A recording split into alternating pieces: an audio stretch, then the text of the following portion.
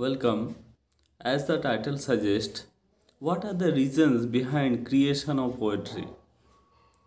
Aristotle points out in his Ars Poetica that there are two causes behind the origin of poetry.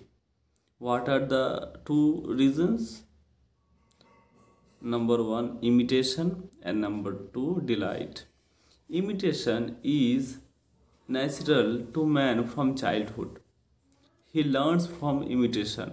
He tries to imitate things whatever he sees. Similarly, in an artist, take the example of a painter, he tries to imitate a human being through his art. And we try to find the beauty behind it.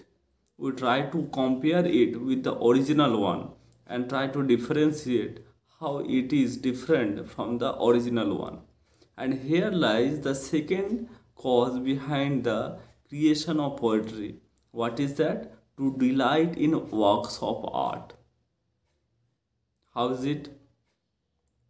When we try to find the difference, we get delight. We get different delight that yes, this this is this much different from the original one even we get delight to see even the lowest of animals or dead bodies.